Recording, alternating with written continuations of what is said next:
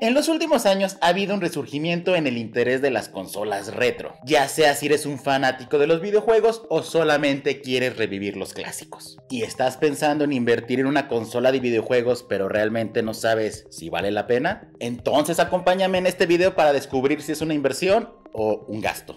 El precio de las consolas retro puede variar significativamente dependiendo la edición, la condición o lo extraño que sea esa edición. Y no solamente aplica para la pura consola, sino también para el cartucho, donde puede haber ediciones muy costosas como el cartucho dorado de Nintendo World Championship Gold Edition, que se vendió al módico precio de 100 mil dólares en una subasta en el 2019.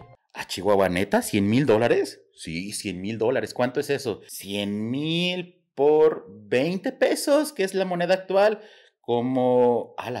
No, si es mucho dinero. Pero sin embargo, todavía existen cartuchos o consolas retro que no pasan arriba de los 100 dólares. Pero estos precios elevados van a radicar en la disponibilidad, o sea, qué tan fácil es encontrar ese videojuego. Sin embargo, hay páginas web que se dedican a traernos estas consolas, digamos, a la facilidad de un clic. Pero no siempre estas páginas son baratas. Así que te recomiendo mejor buscar en el Facebook Marketplace o en Mercado Libre o ya si tienes mucho dinero en eBay. O si eres un buen cazador de tesoros, pues sumérgete a los mercados, al tianguis, al sobre ruedas y puede que encuentres muchas joyitas. Aunque desafortunadamente ya en estos mercados también están los precios muy elevados. Pero la pregunta de oro, ¿vale la pena comprar una consola retro como inversión? En última instancia, pues depende de tus preferencias personales y los objetivos que tengas. Si te gusta jugar a juegos antiguos o si tienes una gran pasión por la historia de los videojuegos, invertir en una consola retro puede ser una forma divertida y emocionante de revivir esos recuerdos. Y si tienes la estabilidad financiera para comprarte una consola retro a un precio elevado sin interferir con tus gastos, digamos, normales,